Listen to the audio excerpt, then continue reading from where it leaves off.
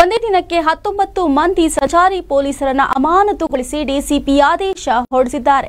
ಎರಡು ಸಂಚಾರಿ ಠಾಣೆಯ ಪೊಲೀಸರು ಅಮಾನತುಗೊಂಡಿದ್ದಾರೆ. ಮಾಗಡಿ ರಸ್ತೆ ಸಂಚಾರಿ ಪೊಲೀಸ್ ಠಾಣೆಯ ಐದು ಹಾಗೂ ಕಾಮಾಕ್ಷಿಪಾಳ್ಯ ಸಂಚಾರಿ ಪೊಲೀಸ್ ಠಾಣೆಯ ಹದಿನಾಲ್ಕು ಸಿಬ್ಬಂದಿ ಸಬ್- ಸಸ್ಪೆಂಡ್ ಆಗಿದ್ದಾರೆ. ಓರ್ವ ಪಿಸಿ ಎಚ್ಸಿ ಎಎಎಸ್ಐ ಸೇರಿ ಮಾಗಡಿ ರಸ್ತೆ ಪೊಲೀಸ್ ಠಾಣೆಯಲ್ಲಿ ಐವರು ಅಮಾನತಾಗಿದ್ದಾರೆ.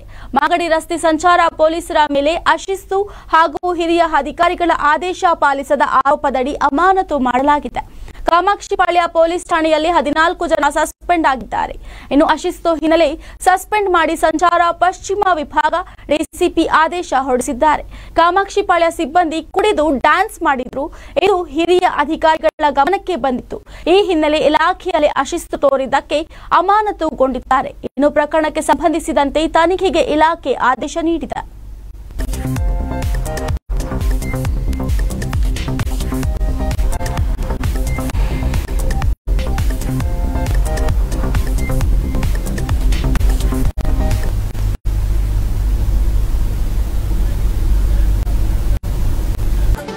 News alert. ನಿಮ್ಮಿಂದ ನಿಮಗಾಗಿ.